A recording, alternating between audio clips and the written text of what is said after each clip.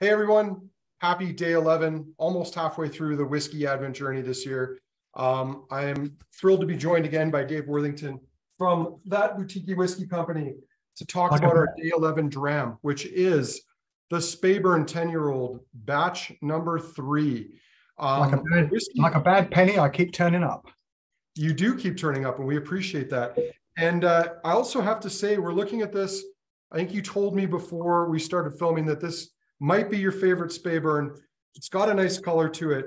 Um, and it has, I have to say, a somewhat busy label to it. And I look forward to learning the story to this one because I'm sure there's a story behind it.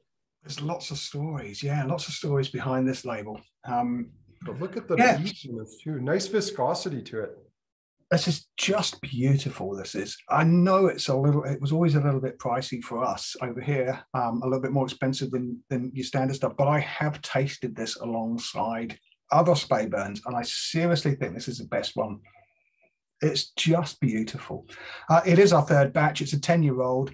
Um, it's a vatting of a number of casks uh, and bottled at 49.5%. Now, Speyburn's got an interesting history. It started its operation in 1897, which was the year of Queen Victoria's Diamond Jubilee. Now, so keen were they to fill a cask marked with distilled in 1897 that the stills ran at the very end of December before the doors and the windows were even in place. There was snow blowing in through the holes as they were as they were distilling this, and uh, just one single butt was filled with spirit on that day. But they did achieve their 1897 cask. So that was that's the, the story of the start of this distillery.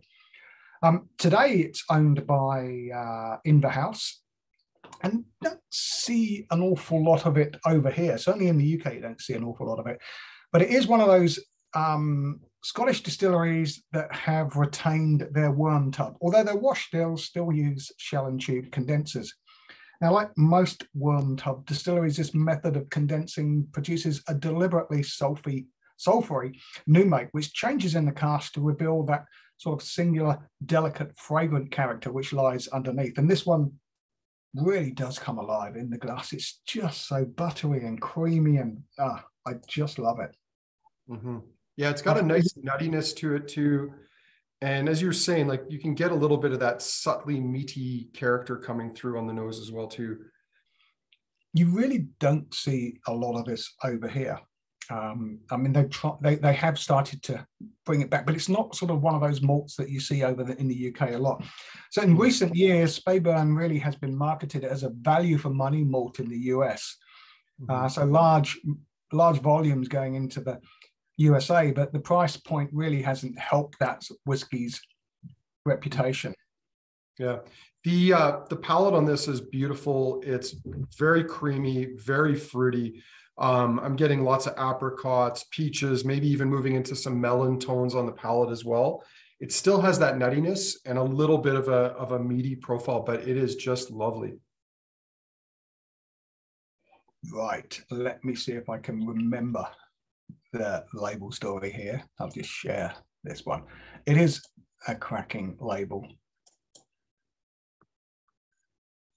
Now, Queen Victoria, Diamond Jubilee, 1897, we wanted to go in with sort of a Victorian, sort of one of those posters that that has all those stories on it. The most magnificent. It really is really building up that um, Victorian. Now we've got the salmon on there, which I really love. The, the, the salmon in tweed with the little monocle.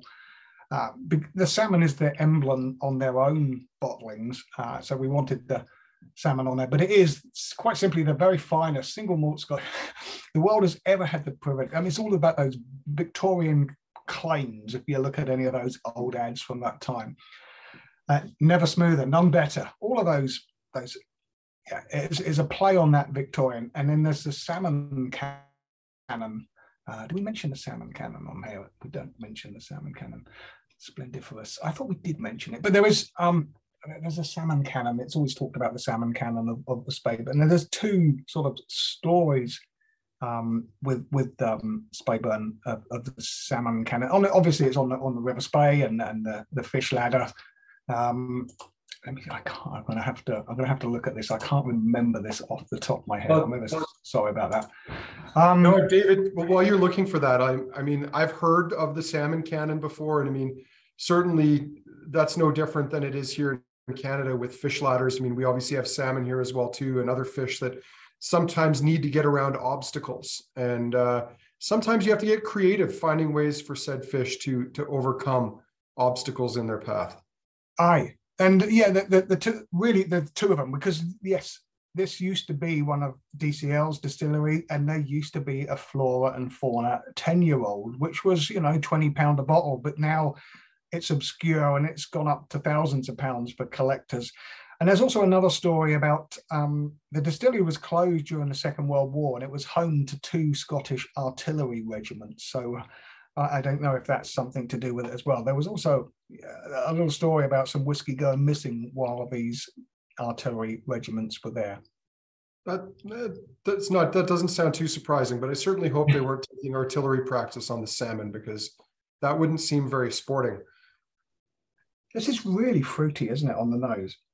It is. You know, Dave, of all the ones that we had uh, from the Boutique-y Whisky Company, I was probably most nervous about this one because, as you said, it, it was a little bit on the pricey side for for uh, a ten year old single malt, but the palate, the nose, the nose is really coming alive now with some marmalade and honey, and the, the palate is just packed with fruit. I just love, love. I could. Ju- this is just what I call gluggable. It's a session whiskey. I just adore it. And say I put it up against the standards, their their, their standard bottlings, and it is head and shoulders above it. Mhm. I, I really do love it. Well, I think Speyburn has started to turn a bit of a quarter. As you said, it may not be targeted um, as much in the UK, um, but they did rebrand. I think they now have a 10, 15, and 18. I actually think the 10, and I'm sorry, my uh, my companion here is uh, freshly in from the, the frigid outdoors and nibbling at my hand. Um, you can kind of see him out of the corner of the screen here. Um, but I, I've been happy with with the range. The problem is the brand is going from practically nowhere and has to start over. And Ah. that's not an easy thing to do. Um, we were lucky we bottled a cask about three, four years ago of Speyburn.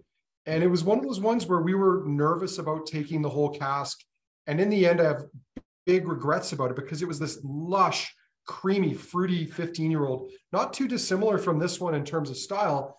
Um, and, you know, it sold out very quickly and we were filled with regret for not taking the whole thing in the end Ah, but I think it's a malt that's got a lot of promise. And uh, yeah, I will we'll wait to see as it progresses. But Dave, I think we have to cut this video short because Yeah. I'm getting attacked by a Walter, and uh, the Walter needs to be uh, settled down a little bit. So I'm going to thank you for uh, recording this session with us. Um, and we'll, we've got a, at least one more, possibly two. You never know. Uh, coming out in the days ahead. But Dave, thank you again for joining us and uh, have a great night. We'll talk soon. Yeah. Cheers. And Cheers. cheers, Walter. Cheers, Walter. Walter says good night, everybody. He needs a little walk, I think.